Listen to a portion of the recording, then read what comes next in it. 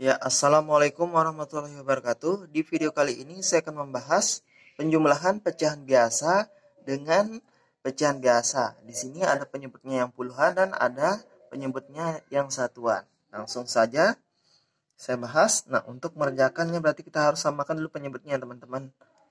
7 per 18 ditambah 2 per 3. berarti kita samakan dulu penyebutnya. 7 per 18 ditambah 2 per 3. Samakan penyebutnya itu biar sama-sama 18. Berarti 18 kali berapa? Hasilnya 18 itu 18 kali 1. 3 kali berapa? Hasilnya 18 yaitu 3 kali 6. Nah, sini kali 1 juga.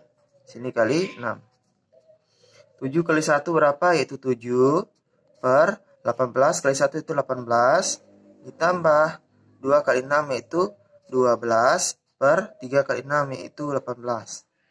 Karena penyebutnya ini sudah sama berarti bisa kita jumlahkan. 7 tambah 12 yaitu eh, 19 per 18.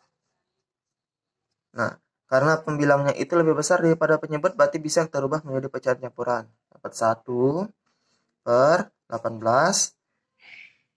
18 kali 1 18 sisanya 1 jadi jawaban nomor 2 adalah nomor 1 adalah 1 1 per 18. Lanjut ke soal nomor 2. 16 per 14 ditambah 1 per 4. Sama.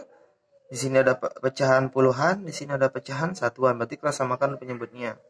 6 per 14 ditambah 1 per 4. Nah, kita samakan penyebutnya itu biar sama-sama 56. 14 kali berapa hasilnya 56 itu? 14 kali 4. 4 kali berapa hasilnya 56 itu? 4 kali 14. Ini kali 1 juga kali 4. Sini kali 14.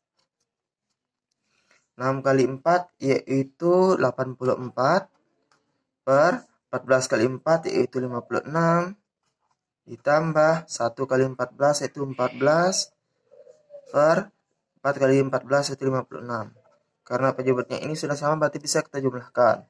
84 tambah 14 yaitu 98 98 per 56 nah karena di sini e, pembilangnya itu lebih besar daripada penyebut berarti bisa kita rubah menjadi pecahan campuran.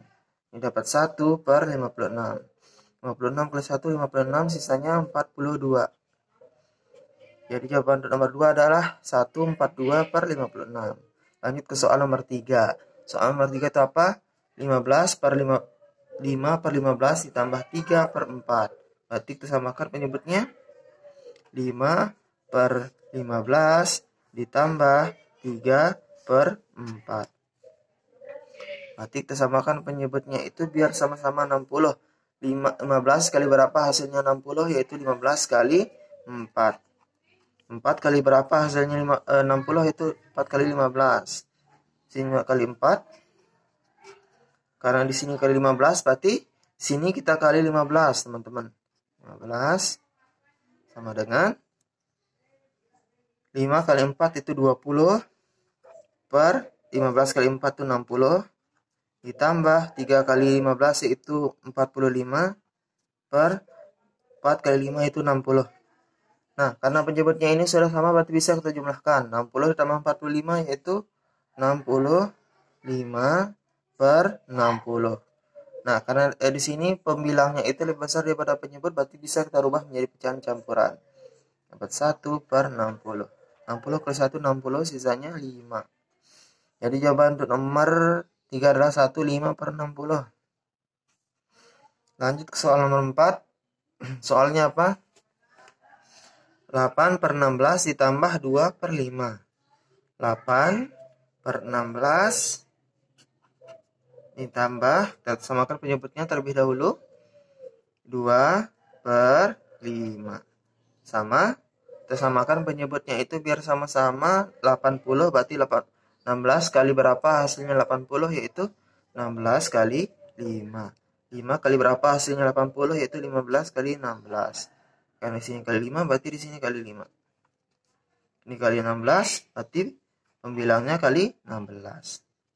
tinggal kita kalikan. 8 kali 5 itu berapa? Itu 40.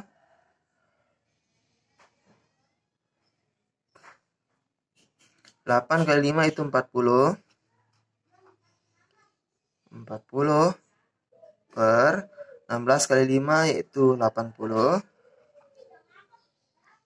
Ditambah 2 kali 16 yaitu eh, 32 per 80. Nah, kita jumlahkan 40 tambah 32 itu 72 per 80. Jadi jawaban untuk nomor 4 adalah 72 per 80. Nah, itulah cara kita menentukan penjumlahan pecahan campuran yang satuan eh, yang penyebutnya itu puluhan dan ada yang satuan. Nah, sekian dan terima kasih. Apabila suka dengan video ini, jangan lupa di like, di share, di dan di subscribe. Dan jika ada pertanyaan, teman-teman bisa langsung tulis di kolom komentar di bawah ini. Assalamualaikum warahmatullahi wabarakatuh.